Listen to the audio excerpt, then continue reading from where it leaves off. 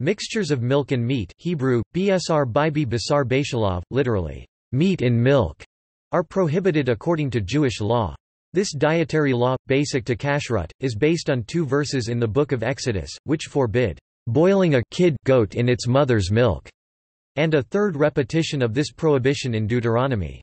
Some claim the biblical statement was referring to suet elab and not milk.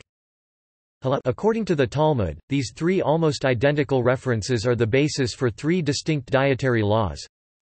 The prohibition against cooking a mixture of milk and meat. The prohibition against eating a cooked mixture of milk and meat. The prohibition against deriving any benefit from a cooked mixture of milk and meat.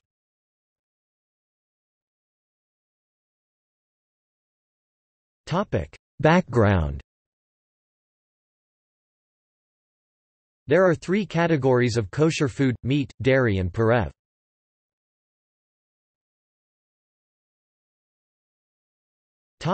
Explanation of biblical law The rabbis of the Talmud gave no reason for the prohibition, but later authorities, such as Maimonides, opined that the law was connected to a prohibition of idolatry in Judaism. Obadiah Sforno and Solomon Luntschitz, rabbinic commentators living in the late Middle Ages, both suggested that the law referred to a specific foreign Canaanite religious practice, in which young goats were cooked in their own mother's milk, aiming to obtain supernatural assistance to increase the yield of their flocks. More recently, a theogonist text named The Birth of the Gracious Gods, found during the rediscovery of Ugarit, has been interpreted as saying that a Levantine ritual to ensure agricultural fertility involved the cooking of a young goat in its mother's milk, followed by the mixture being sprinkled upon the fields, though still more recent sources argue that this translation is incorrect. Another explanation is the separation accommodates significantly the large percentage of the population, particularly those who are aging, who are lactose intolerant. The biblical suppression of these practices was seen by some rabbinic commentators as having an ethical aspect. Rashbam argued that using the milk of an animal to cook its offspring was inhumane, based on a principle similar to that of Shiluach haken, the injunction against gathering eggs from a nest while the mother bird watches. Hayim ibn Attar compared the practice of cooking of animals in their mother's milk to the barbaric slaying of nursing infants.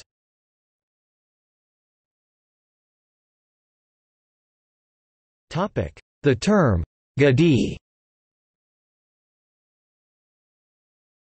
The Book of Genesis refers to young goats by the Hebrew phrase gadi-ism, but the prohibition against boiling a kid only uses the term gadi. Rashi, one of the most prominent Talmudic commentators, argued that the term gadi must actually have a more general meaning, including calves and lambs, in addition to young goats. Rashi also argued that the meaning of gadi is still narrow enough to exclude birds, all the undomesticated kosher animals for example, chevrotains and antelope, and all of the non-kosher animals.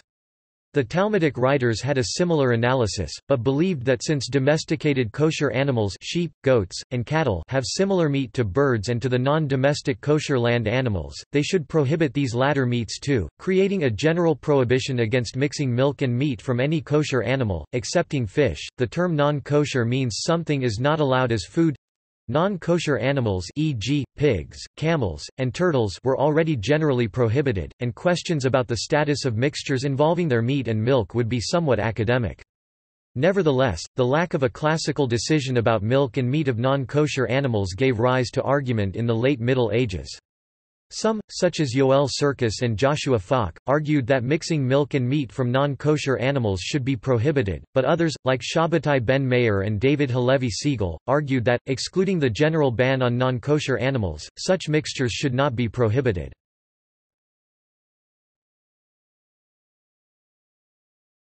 The term, halev immo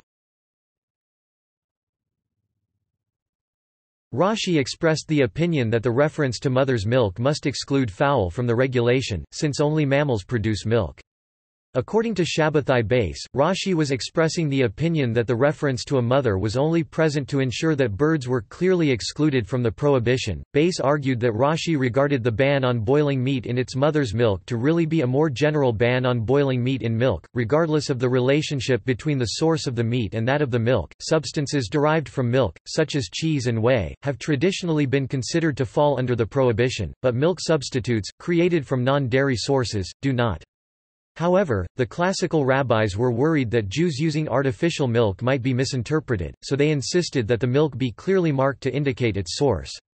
In the classical era, the main form of artificial milk was almond milk, so the classical rabbis imposed the rule that almonds must be placed around such milk. In the Middle Ages, there was some debate about whether this had to be done during cooking as well as eating, or whether it was sufficient to merely do this during the meal. Currently, Leban imo is a famous dish in Lebanon and Syria made of meat cooked in yogurt, and mansaf, the national dish of Jordan, is also made of meat cooked in yogurt.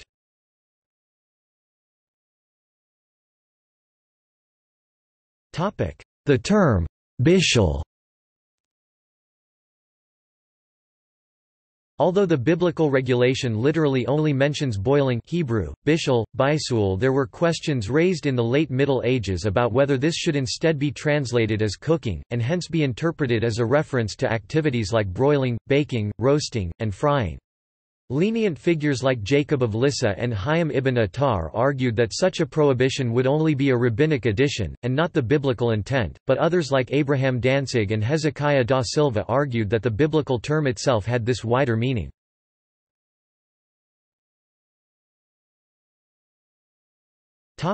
Three distinct laws The Talmudic rabbis believed that the biblical text only forbade eating a mixture of milk and meat, but because the biblical regulation is triplicated they imposed three distinct regulations to represent it. Not cooking meat and milk together regardless of whether the result was eaten. Not eating milk and meat together regardless of whether it was cooked together.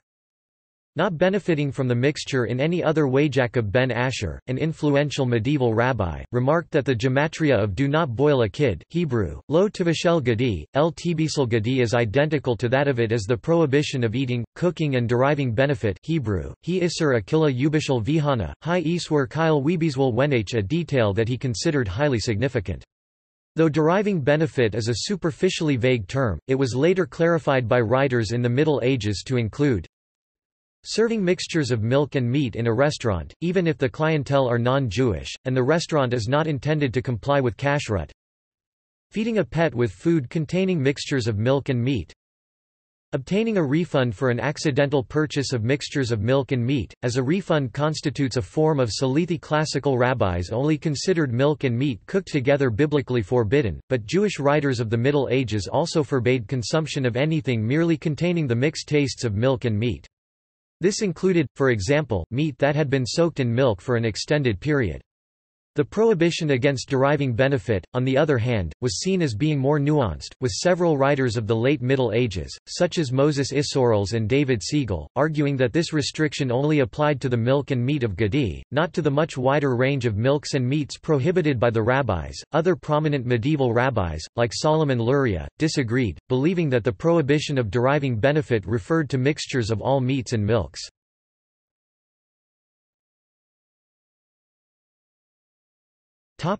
Stringencies and leniencies The classical rabbis interpreted the biblical phrase heed my ordinance Hebrew, ushmartim et mishmarti, which appears in the Holiness Code, to mean that they should metaphorically create a protective fence around the biblical laws, an attitude particularly expressed by the Ethics of the Fathers a Mishnaic tractate discussing the ethics surrounding adherence to biblical rules. Nevertheless, the rabbis of the Classical and Middle Ages also introduced a number of leniencies. Another prohibition on mixtures in Jewish law is kilayim.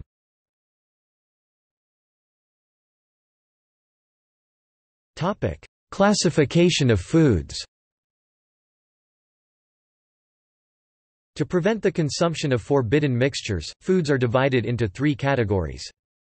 Meat, North America or meaty, UK Yiddish, Fleischek, Pliasike Hebrew, Basari Dairy, North America or milky, UK Yiddish, Milkik, Malkik Hebrew, Halavi Parv or parv, parva, from the Yiddish word parev, paru meaning neutral food in the parv category includes fish, fruit, vegetables, salt, etc. Among the Karaites, Ethiopian Jews, and some Persian Jews it also includes poultry.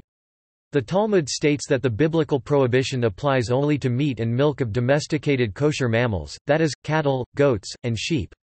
It adds that according to the view of Rabbi Akiva, the rabbis instituted a protective decree extending the law to the meat and milk of wild kosher mammals, such as deer, as well as the meat of kosher poultry, such as chickens. The Shulchan Aruch follows this approach.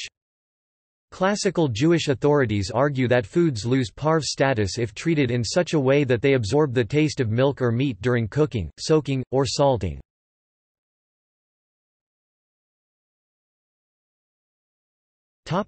Minuscule quantities The classical rabbis expressed the opinion that each of the food rules could be waived if the portion of food violating the regulations was less than a certain size, known as a shiur Hebrew, size, sire unless it was still possible to taste or smell it. For the milk and meat regulations, this minimal size was a kazayat, kazit literally meaning anything similar to an olive in size. However, the shiur is merely the minimum amount that leads to formal punishment in the classical era, but even half a shiur is prohibited by the Torah Hebrew, hatzi aser min hatara. Hazi sire swir emen Many rabbis followed the premise that taste is principle Hebrew, ta'am kakar, tm kiker In the event of an accidental mixing of milk and meat, the food could be eaten if there was no detectable change in taste. Others argued that forbidden ingredients could constitute up to half of the mixture before being disallowed. Today the rabbis apply the principle of batel bashishim nullified in 60, that is, permissible so long as forbidden ingredients constitute no more than one-sixtieth of the whole, due to the premise that taste is principle, parv i.e. neutral foods are considered to take on the same meat, dairy produce classification as anything they are cooked with.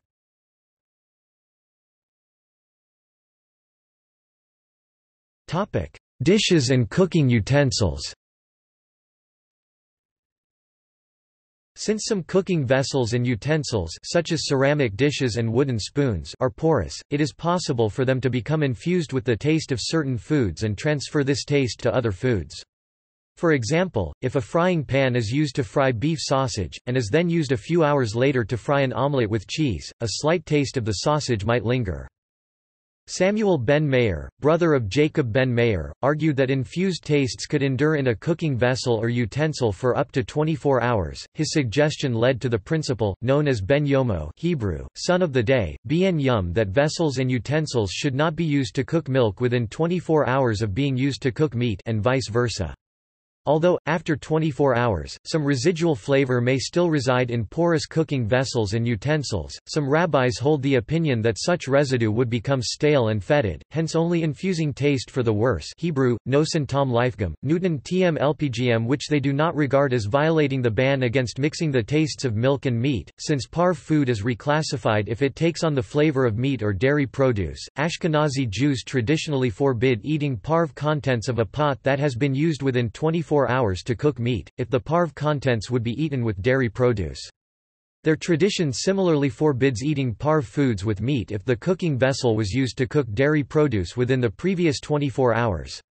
According to Joseph Caro, the Sephardic tradition was more lenient about such things, but Moses Isserles argued that such leniency was unreliable. In light of these issues, kashrut observant Jews can take the precaution of maintaining two distinct sets of crockery and cutlery. One set, known in Yiddish as milchig and in Hebrew as halavi, is for food containing dairy produce, while the other, known in Yiddish as fleischig, fleischedig and in Hebrew as basari, is for food containing meat.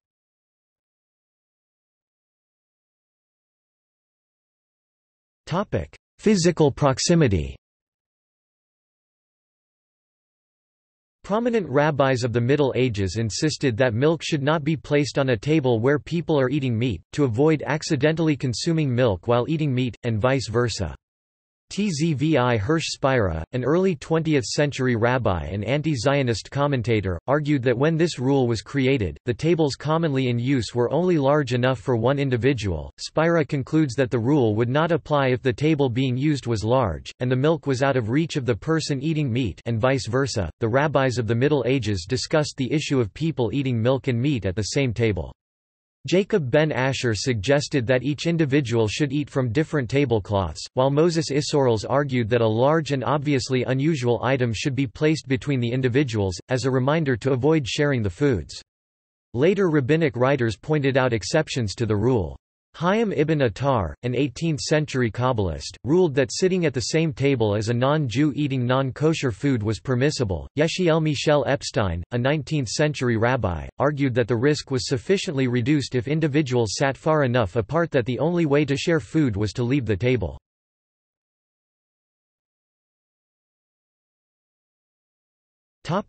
Problem of sequential foods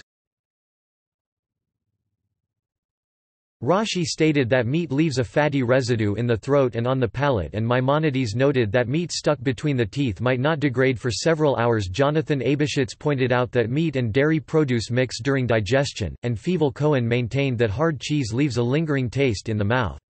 Generally, rabbinic literature considers the collective impact of each of these issues.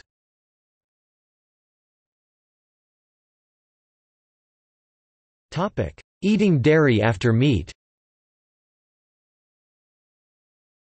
The Talmud reports that Mar Ukva, a respected rabbi, would not eat dairy after eating meat at the same meal, and had a father who would wait an entire day after eating meat before eating dairy produce. Jacob ben Meir speculated that Mar Ukva's behavior was merely a personal choice, rather than an example he expected others to follow, but prominent rabbis of the Middle Ages argued that Mar Ukva's practice must be treated as a minimum standard of behavior. Maimonides argued that time was required between meat and dairy produce because meat can become stuck in the teeth, a problem he suggested would last for about six hours after eating it. This interpretation was shared by Solomon ben Aderet, a prominent pupil of his, and Asher ben Jehiel, who gained entry to the rabbinate by Solomon ben Aderet's approval, as well as by the later Shulchan Aruch. By contrast, Tosafists argued that the key detail was just the avoidance of dairy produce appearing at the same meal as meat. Therefore, it was sufficient to just wait until a new meal—which to them simply meant clearing the table, reciting a particular blessing, and cleaning their mouths. Some later rabbinic writers, like Moses Isserles, and significant texts, like the Zohar as noted by Vilna Gaon and Daniel Josiah Pinto, argued that a meal still did not qualify as new unless at least an hour had passed since the previous meal. Since most Orthodox Sephardi Jews consider the Shulchan Aruch authoritative, they regard its suggestion of waiting six hours mandatory. Ashkenazi Jews, however, have various customs. Orthodox Jews of Eastern European background usually wait for six hours, although those of German ancestry traditionally wait for only three hours, and those of Dutch ancestry have a tradition of waiting only for the one hour. The medieval Tosafists stated that the practice does not apply to infants, but 18th and 19th century rabbis, such as Abraham Danzig and Yechiel Michel Epstein, criticized those who followed lenient practices that were not traditional in their region. In the 20th century, many rabbis were in favor of leniency. Moses Stern ruled that all young children were excluded from these strictures, Obadiah Joseph made an exception for the ill, and Joseph Chaim Sonnenfeld exempted nursing women.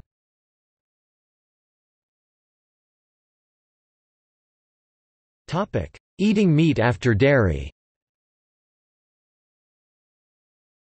It has traditionally been considered less problematic to eat dairy products before meat, on the assumption that dairy products leave neither fatty residue in the throat, nor fragments between the teeth. Many 20th-century Orthodox rabbis say that washing the mouth out between eating dairy and meat is sufficient. Some argue that there should also be recitation of a closing blessing before the meat is eaten, and others view this as unnecessary. Ashkenazi Jews following Kabbalistic traditions, based on the Zohar, additionally ensure that about half an hour passes after consuming dairy produce before eating meat. Some rabbis of the Middle Ages argued that after eating solid dairy products such as cheese, the hands should be washed.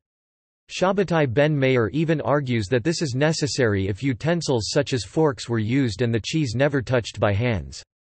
Other rabbis of that time, like Joseph Caro, thought that if it was possible to visually verify that hands were clean, then they need not be washed. Tzvi Hirsch Spira argued that washing the hands should also be practiced for milk. Jacob ben Asher thought that washing the mouth was not sufficient to remove all residue of cheese, and suggested that eating some additional solid food is required to clean the mouth.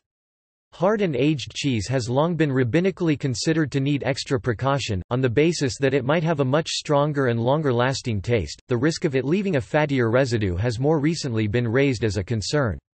According to these rabbinic opinions, the same precautions including a pause of up to six hours apply to eating hard cheese before meat as apply to eating meat in a meal when the meat is eaten first.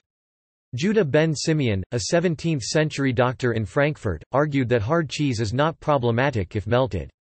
Benjamin Forst argues that leniency is proper only for cooked cheese dishes and not dishes topped with cheese.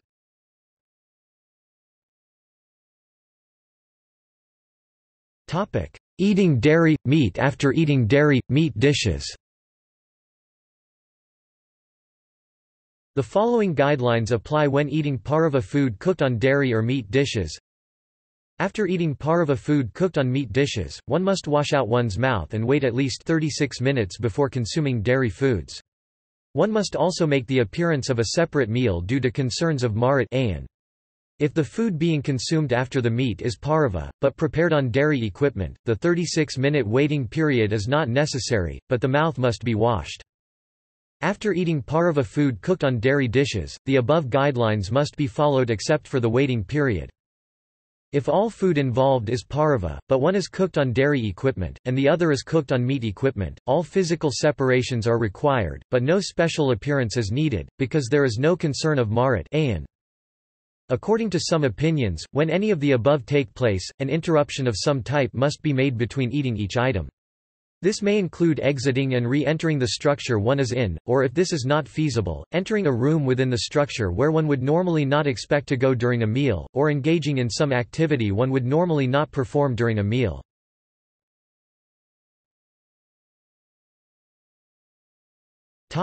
Microwave cooking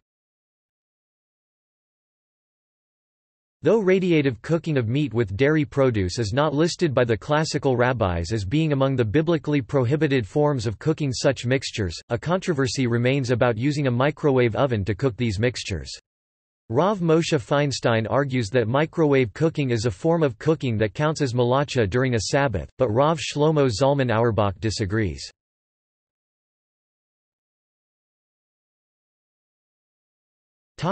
Samaritan Torah In Exodus chapter 23 verse 19 Samaritan Pentateuch adds the following passage after the prohibition, Kishish zt kabe eskh wer hi li yakub which roughly translates, "...that one doing this as sacrifice forgets and enrages God of Jacob."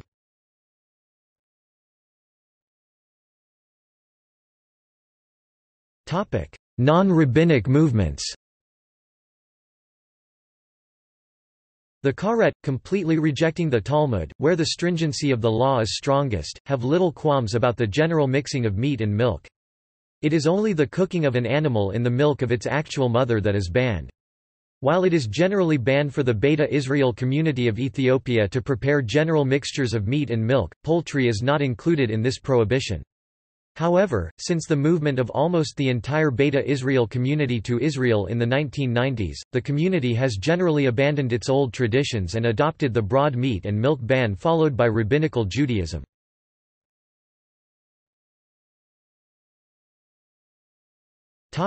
See also Incompatible foods in Ayurveda